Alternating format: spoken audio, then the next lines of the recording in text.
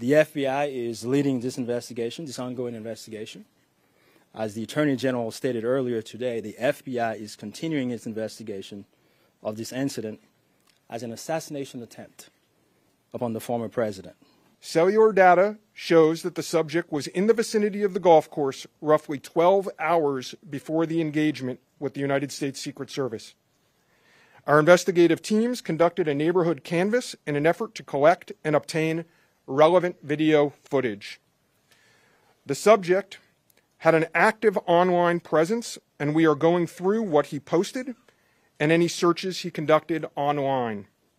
In addition, we're going through media reports and public statements he made that he wanted to recruit Afghan soldiers and others to fight for Ukraine. In 2002, as the United States Attorney uh, mentioned, the subject was charged and convicted in North Carolina for possession of a weapon of mass destruction. Law enforcement checks also revealed that from 1997 to 2010, the subject had numerous felony charges for stolen goods.